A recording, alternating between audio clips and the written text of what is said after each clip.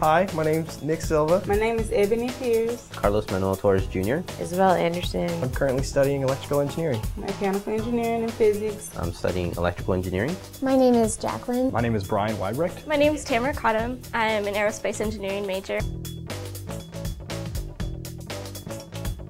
I've been really fortunate to be a recipient of the SMART Scholarship. I work for the Army Corps of Engineers. I get to do some pretty cool projects there with water research.